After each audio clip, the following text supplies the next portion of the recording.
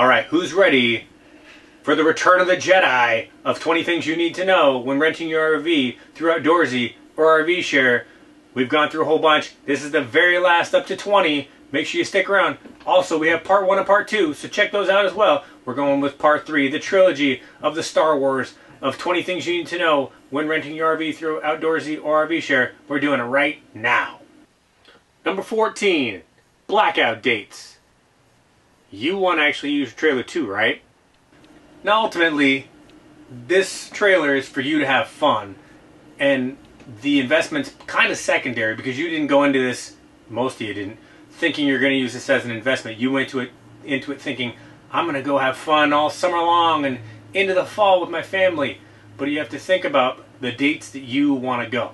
Here's the thing I charge more for all holiday weekends. It's not very much more, but I charge more because those are high demand weekends. My wife and I both know we're not going to go Memorial Day weekend. We're not going to go 4th of July weekend. We're not going to go any of those weekends because number one, people want to rent your trailer more often on those weekends because they want to go out with their friends and do it.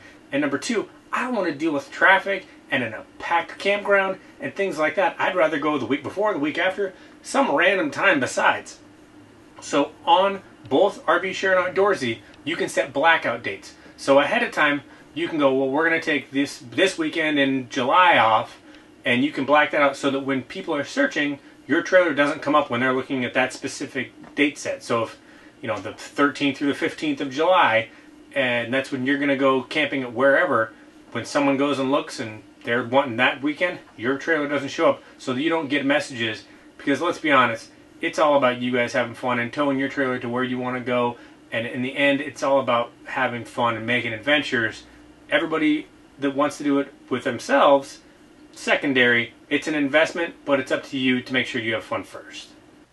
Number 15, buying rental goods. It's kind of like the dishware you have in your cupboard when company comes over, not the good china. That's for you. So you know when company comes over and you put out the good china like for Thanksgiving or whatever, your trailer's not normally like that. So for us, we put in biodegradable plates, biodegradable silverware. We have stuff in the trailer that isn't our nice stuff like we'd have in the house. We put in what you'd normally put in if you're going to go camping, and then we have stuff that we add if we're going to go camping for ourselves that the renters don't get. They have separate towels, they have separate sheets. So it's just a matter of buying the rental goods that are going to work for a rental versus for you. Uh, rental properties like uh, uh, if you rent a house or you're you're the landlord of a house, you're not going to go spend five thousand dollars on appliances in a rental property, and if the rent's thousand dollars a month, you're going to get those generic white appliances that you can get the whole set for fifteen hundred bucks, and it works just as well because you know in the end it's a profit margin. Number sixteen, fishing for renters. It's like chumming the waters, trying to get a bite. I talked about it earlier. Instamatch and Smart Match. Make sure you use them because it's an easy way to get extra renters and to get other people that might not have seen your trailer to see your trailer just by sending them a quick email that's saying, hey, by the way, see you're renting from this day to this day. Check out our trailer. Send. It's that easy. Number 17, inventory your trailer.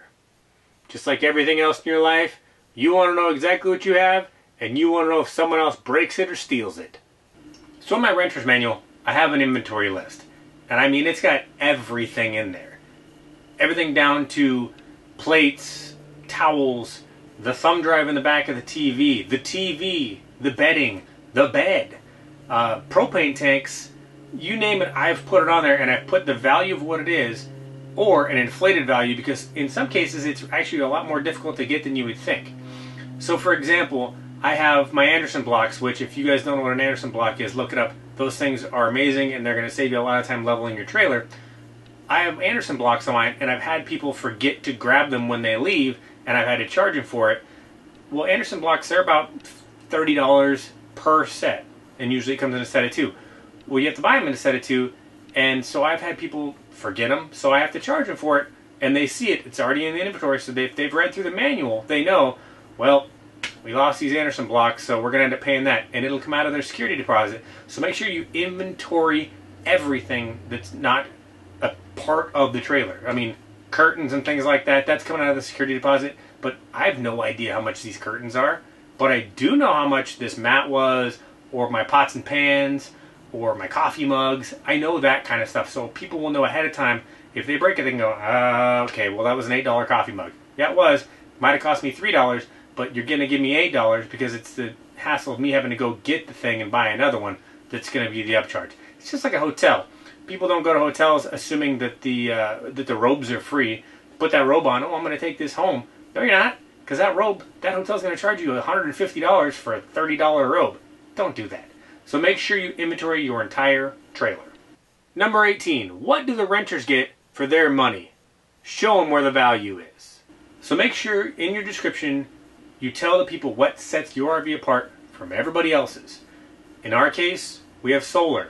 Not a lot of them do. So you can boondock if you don't really need the TV, microwave, or air conditioning.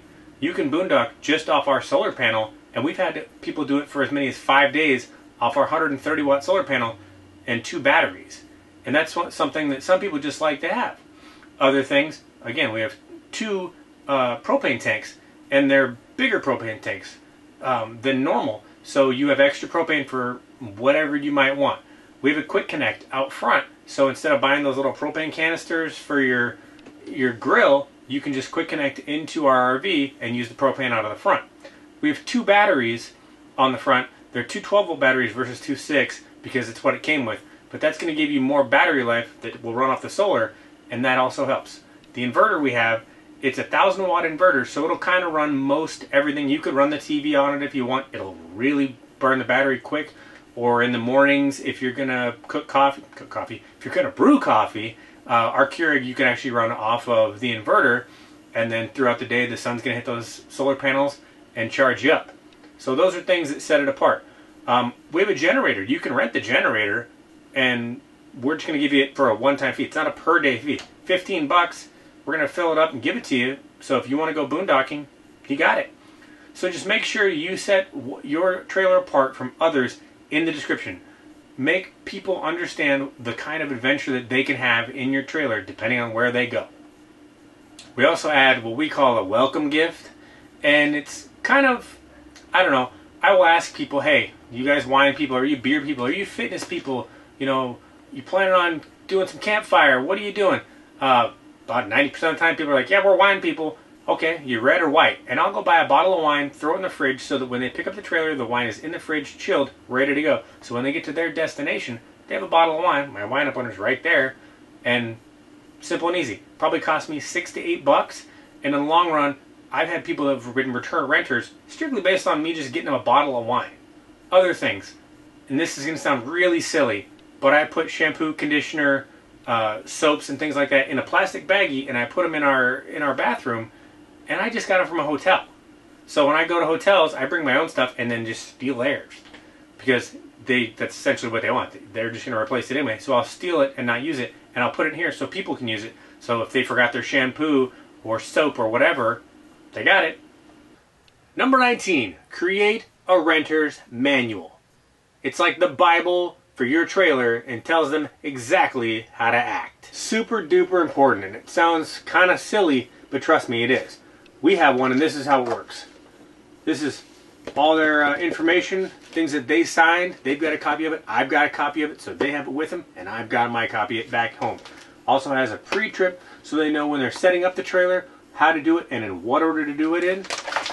Has the post-trip, what to do when they're done and they're packing everything up in the order it needs to be done to make sure things go as smooth as possible. Also have little things that your trailer might have that other trailers might have. This has a Wi-Fi ranger. It's like a repeater. Things like that. How to use a TV antenna.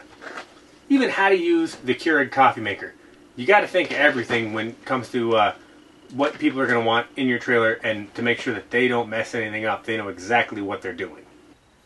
And number 20, the travel log.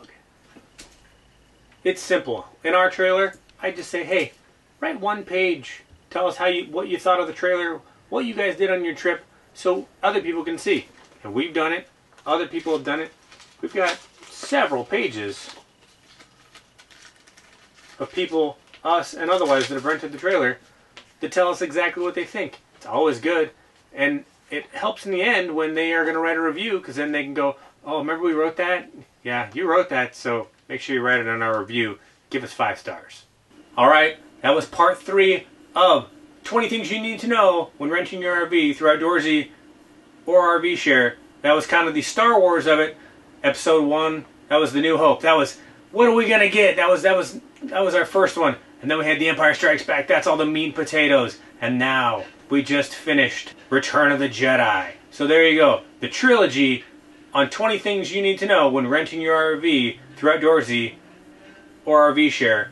Make sure you thumbs up the channel, subscribe to the channel, hit the bell below to keep up on all our updates. Here's some stuff. Make sure you check those out as well.